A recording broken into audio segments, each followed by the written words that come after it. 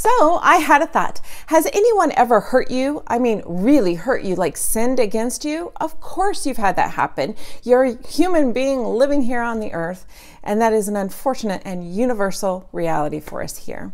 The interesting thing is that when people sin against you, they're actually sinning against God.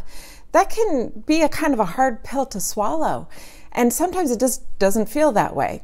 But it's what justifies Jesus in saying to the man who's paralyzed in Matthew 9, Your sins are forgiven.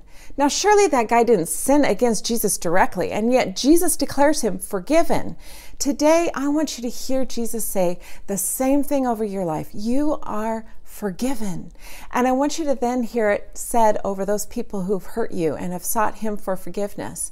He forgives them too. You know, it is time to see yourself as forgiven, and it is time to release people who've hurt you into the hands of God.